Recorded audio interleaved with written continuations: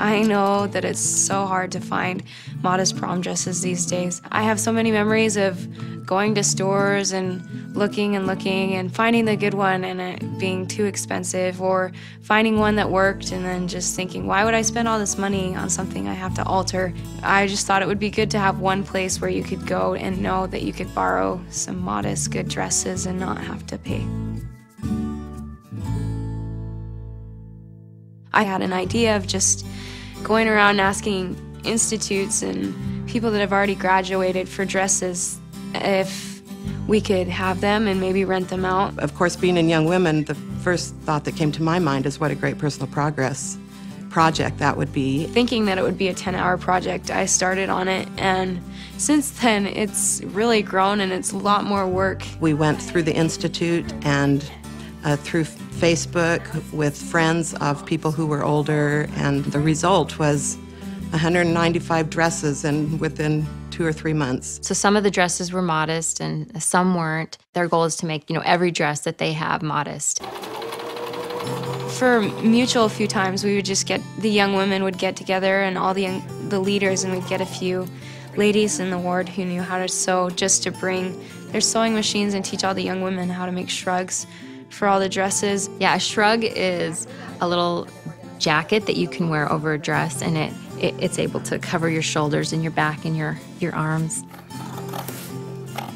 I've learned that service makes you happy and it makes you feel like you're doing something important. It makes you feel good about yourself. I really feel like none of this would have happened if it wasn't for the service of other people.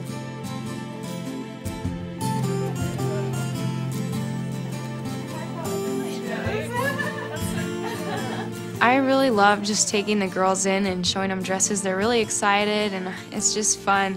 And it makes me feel good that like I know what it's like to go shopping and how hard it is. And it's just nice to know that I have that many dresses in there that I know that they'll like. What we finally decided was to take a deposit of $30, a fully refundable deposit, when they came and took the dress. And then their responsibility is to get the dress dry cleaned and have it come back in good condition. And when they bring it back, they get their full $30 back. Their hope was that the dresses would come back even more modest and, and more fashionable, and they have.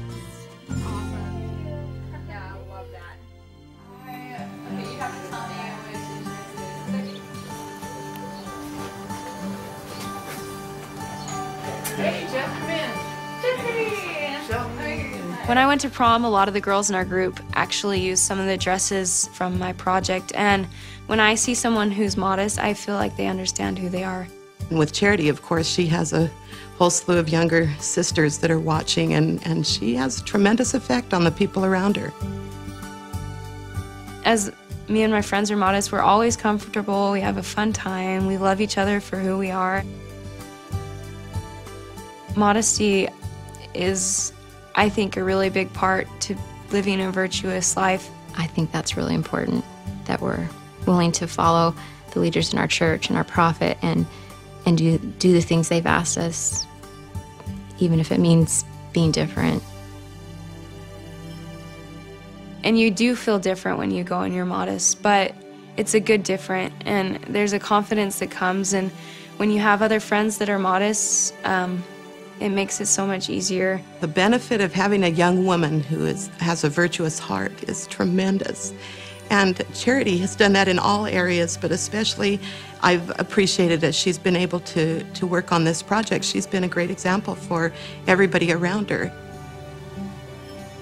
When you know you're doing right and you're living a good life and trying to do what the Lord wants you to do, there's a light that comes into your life and people do you notice it